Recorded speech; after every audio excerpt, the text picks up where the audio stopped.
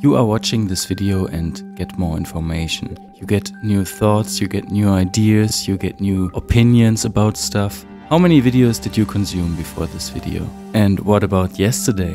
And what about the day before? Fact is that you can still remember all these videos when you see the titles and see the thumbnails. But out of your mind you can't come up with what you watched yesterday. And your brain is powerful, so of course it adapts to your behavior.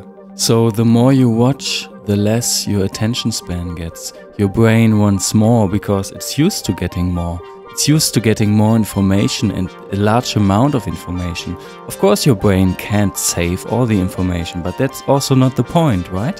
Your brain is smart and you are telling your brain to forget information to get new ones, just for the sake of entertainment. And this behavior, of course, doesn't stay just for videos. At some point, you will also forget important things in your real life, like your girlfriend's birthday or the concert of the guy you like.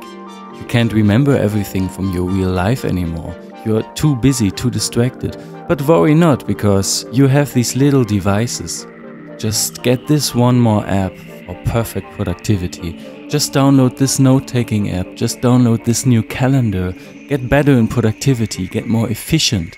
Load all these tasks onto your devices because in your brain there's no space for that. Your brain is moving on all the time. Your brain can't stop anymore. Your brain is not here for remembering. Your brain is there for processing and to reward you for all the information you gathered. All the devices you use for note taking, for tracking, for setting up new calendar dates, all these devices are becoming your new brain. You think with your brain, but you remember with your devices, and that makes you very dependent on them.